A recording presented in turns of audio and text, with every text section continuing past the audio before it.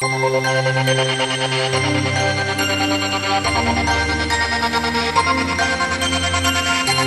you.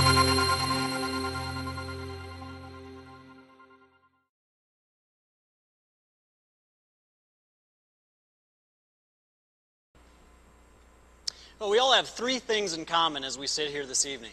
Uh, one of them is that we've had a great opportunity tonight to listen to a lot of presenters with some great ideas and some more to come here very shortly. Uh, the second one, I'm either going to apologize or say thank you that you got to listen to my drivel for about six minutes. Uh, and lastly, as teachers and educators, uh, we've all had the experience of student teaching, an apprenticeship, a teacher in training, whatever you want to call it. We've all had the opportunity to work with a master in education. Uh, and I was blessed with having two extraordinary teachers down in Boise that pushed me to look for new ways to meet the needs of our clientele. Uh, Mr. Andersen, who you uh, heard from earlier this evening, uh, was an inspiration to me over the past year when I ran into some videos on him and what he's done in the classroom in Bozeman. Uh, so what a flipped classroom is, is it's a 180 degree shift in what traditional education is. Instead of having instruction done at school and then the practice done at home, we just switch those. Instruction is done through either podcasts or some screencasts. An example of one that the students that I have would watch, uh, no more than 10 minutes long at home, where they would answer a couple questions just to get their wheels rolling, and they would come in the next day for the practice. Uh, some benefits that I've run into, and it's not just benefits I've seen, but also uh, teachers who have employed a flipped classroom around the country, is an increase in student interaction. What I mean by that is not just interaction between the students. Uh, when I was in the insurance industry in Seattle, my bosses told me there is one surefire way to get to know your clientele is to communicate with them. It's to talk with them. Lecture, like I'm doing to you all right now, is the complete opposite of that. I'm talking to you. Uh, and they're, they're, right. I mean, it was, it's an amazing thing. It would flip the classroom. I now have more time to interact with the student, to talk with them on a day to day basis. If they're struggling with something, I can provide immediate support. If they find it easy, I can provide them some more challenge, something I wasn't able to do as well in the past. Uh, and something that really blew my mind was about two weeks ago, I received an email from a parent. And in short, it said this uh, Thank you for posting the videos online. I'm able to finally help my son with the math at home. I'm learning along with him. That's a huge connection right there. I've got an advocate at home now, and they're making a connection with each other. Something I would not have been able to do if I'd kept the practice in I give the lecture, it's here with me, come to see me if you need something. They have access to that information 24 hours a day, seven days a week, 52 weeks a year. You kind of get the picture? It's going to be there when they need it. Ease of access. Pacing is has been a surprise to me more than anything else.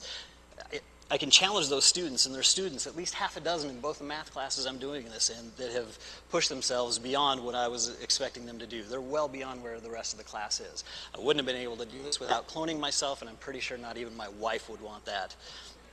Uh, and, but there are obviously some drawbacks. For every hill, there's a valley. Uh, technological issues and lack of resources. I'm not going to get into these too much tonight. Uh, saw a bumper sticker once that said, "A clean desk is a sign of a messy mind." My mind is spotless. Uh, those of you that know me and have been in the classroom, uh, a little organizationally challenged. Uh, have some great colleagues that help me out with that quite a bit. Uh, and piece that I really need to start working on is a meaningful practice for the students, not just a drill and kill when they get back into the classroom. So real quick, I want to take you through what a typical day might look like in the class.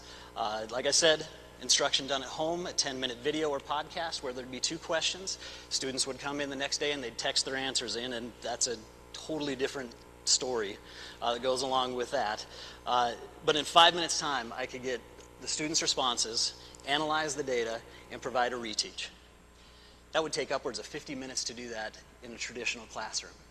That provides me 45 minutes on a day-to-day basis to work with students, something I'd, I, I can't live without now.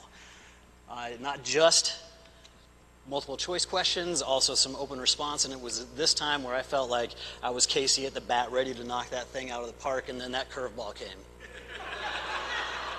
and it was it can it threw me. I wasn't sure exactly what to do, but luckily there's always a student there to provide me some support, and they may be up here in a couple of years talking about how to integrate sex ed and algebra. Uh, not sure how that'll work, but But to drop back to the apprenticeship that we've all shared, and we had that practicum in the classroom, let's take that and let's turn that around. Go back to a traditional classroom where it's like this. They're going to sit there and it might look something like this in a, in a middle school at least. Okay, tonight this is what's going to happen. Here are the level upon layer and layer and layer of what's really important. And then when you go home tonight, here are some of the hurdles that you might run into. Okay? Now don't forget, this is going to benefit you in the future. This will help you out in finding that career that you've always wanted. All right? Hey, uh, by the way, you got a D right now in that preteen tradition of standing on opposite sides of the gym where Sue or Bobby's waiting, you're waiting for them to ask you to dance. You're not going to be able to go if you don't pass that quiz over the lecture that I just gave you today. And by the way, as a rushing out the door, 1 through 50 tonight. Okay, businesses don't operate the way they did 100 years ago. They don't even operate the way they did 25 years ago. That's what we seem to be doing in education. And when something goes wrong, like the curveball I was throwing, we jump back to the, and quote from Grace Murray Hopper the most damaging phrase in the language is it's always been done that way. It's not working, I'm going to move it to something that's more comfortable. We need to find different ways to meet the needs of our clientele, and that's the citizens of the world. Thank you.